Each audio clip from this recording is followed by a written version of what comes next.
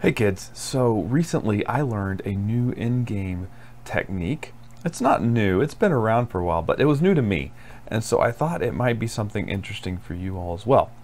One of the things that's really important as you move through the middle game and into the end game is to know your end game positions and to know what positions will turn into a win and what positions will turn into a lose. So you can think through your moves even during the middle game as saying, okay, if I do this, then if I get to this end game, I'll win. Or if I do this, if I get to this end game, I'll draw instead of win. Or vice versa, I'll draw instead of lose.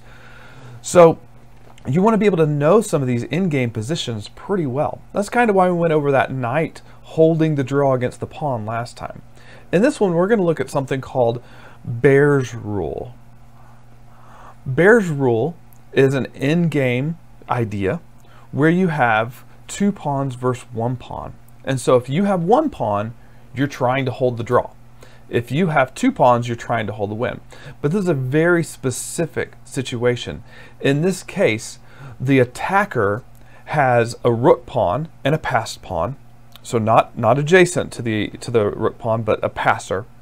And the defender just has the rook pawn and has been trying to prevent that passer from promoting.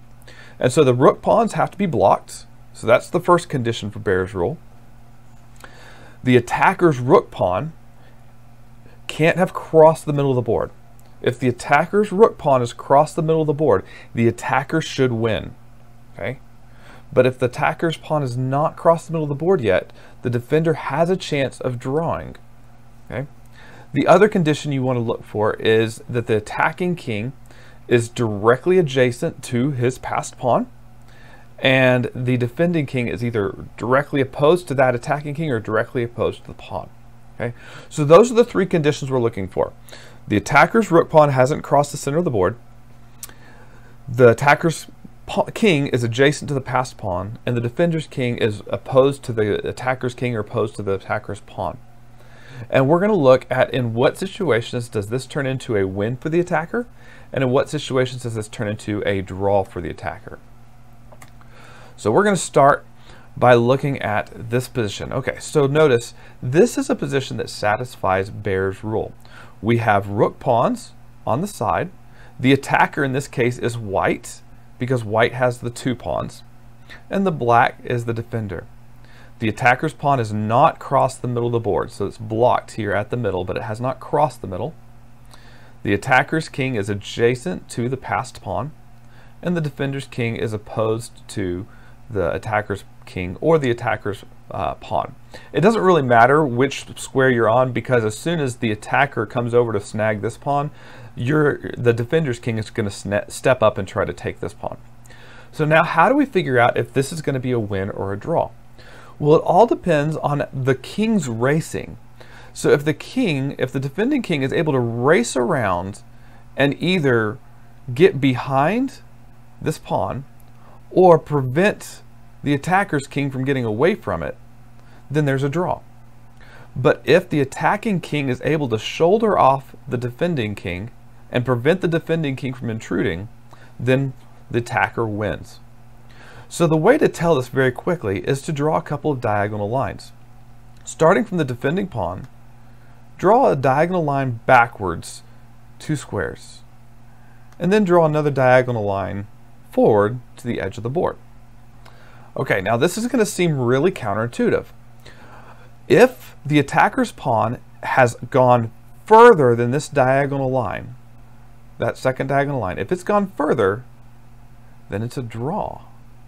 Because what that means is the defending king is starting close enough to his side of the board that he's going to be able to get around the attacking king and get to the back in time to block the pawn from promoting. But if the pawn is on or behind this line, then the attacking king is going to be able to shoulder the defending king and prevent the defending king from intruding. So let's see how this plays out. Now notice, remember, we have, in this case, we have uh, a situation where this should be a draw for black. Black should hold the draw. Let's see if that plays out this way. So white moves, and black moves.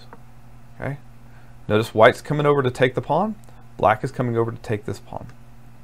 white moves, black moves. Now you're looking at this and you're saying, wow, the black king is so far away. But watch what happens.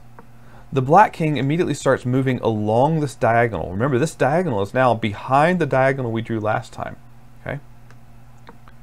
Continues to move along the diagonal. Okay? And then when white king tries to step up, black king is able to get behind that diagonal. Okay? And so now, if white king tries to protect the square, black king can trap white's king there. White king, white pawn tries to move, black king just steps back. Okay? And so notice there's no way for white to get a win in this position. This becomes a draw.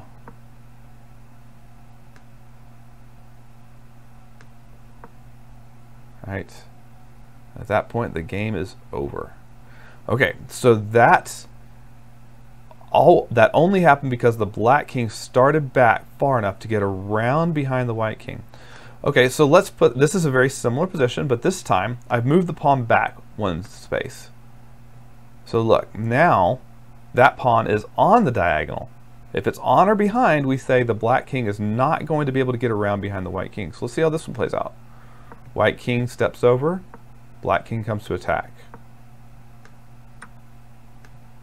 Now black king again tries to take that diagonal to get behind. But notice when black is on the diagonal, white king steps directly opposed to the black king. And so now the black king can't get around. Once white king gets to this position, the pawn is able to promote freely. And I would hope that each of you know how to win with a king and a queen at this point. So you should be good from there. Okay, so let's take an, another example. Now, does this satisfy the conditions for Bahr's rule? Okay, well, in this case, it does not.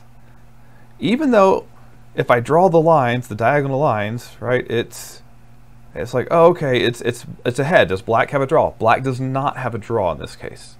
The reason is the attacking pawn on the rook, the rook pawn on the attacker, has gone past the middle of the board. So when black tries to come along this diagonal, he gets stuck because the black's not allowed to go off the edge of the board, right? And so he's going to get stuck and white king's going to be able to stop him. All right, so again, we can see how this plays out. White moves, black moves, white moves, black captures the pawn, white moves, black tries to go back along that diagonal to try to get around behind. And it would work if black was allowed to go off the board, but we're not allowed to go off the board. So white wins in this case. So that's why it's so important to make sure that you block that rook pawn from going across the midway point in the board early in the game. So unless you expect that person is using that pawn to try to pry open your castle, if you think that those rook pawns are going to be important later in the game, you want to make sure that your opponent's rook pawn has not crossed the middle of the board. Now, if you are up a pawn and you think it's going to come down to rook pawns versus another with you having a passed pawn, you have to make sure your passed pawn doesn't go too far down the edge of the board because you can't move pawns backwards. And so if the pawn is too far down the board, you might not be able to get the win if your rook pawn wasn't already halfway across. All right, let's take a look at this position.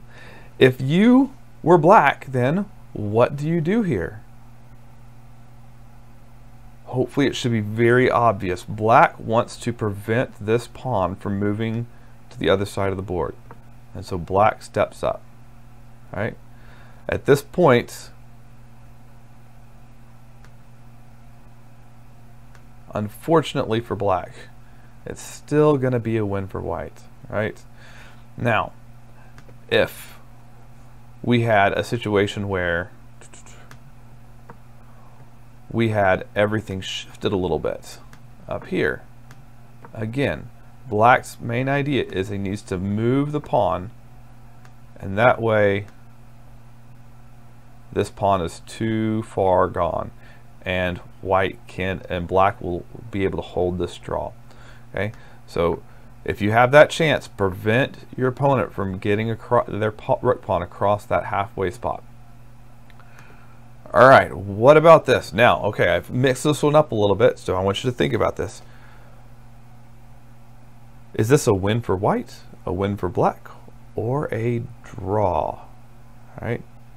So pause the video, think through it real quick, see if you can identify, does this meet Bahr's conditions? If so, who is the attacker? Who is the defender?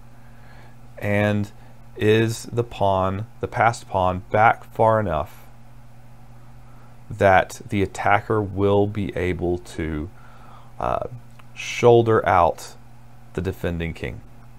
All right, pause your video real quick, see what you think. Okay, you got an answer? All right, hopefully you recognize this does satisfy Bahr's rule.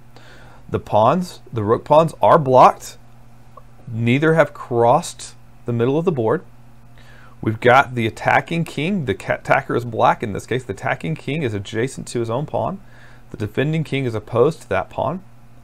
And so then we have to look, does this satisfy Bahr's rule? And the answer is yes. This black pawn actually could be even one step further down the board and still be okay. So notice, if black moves, white steps in to snack, and then black immediately shoulders out the white king. Can even make a pawn move before stepping down to shoulder him out again. And now white is unable to stop the black pawn from queening and black wins this game. Okay, so hopefully this is really helpful to you. Like I said, it was kind of new to me. I thought it was kind of neat to be able to look at just where some pawns are and know whether it's a winning endgame or a drawn endgame or a lost endgame. And so keep this in mind in the middle of your game though, because it doesn't do any good to know how the end game is going to play out if you don't plan for it in the middle game. When all the other pieces are on the board, if you see your opponent pushing that rook pawn down, you got to stop them. And if you're up a pawn, if you can get your pawn past that middle line, uh, your rook pawn past that middle line, or if you can make sure your other pawn stays back far enough that you're going to be able to shoulder out the king, then you can turn these just pawn advantage games into wins. Or if you're on the, the losing end of it, you can turn it into a draw. All right, see if that comes up into your game sometime. Really try to pay attention. Hopefully that's helpful to you, and uh, we'll see you next time.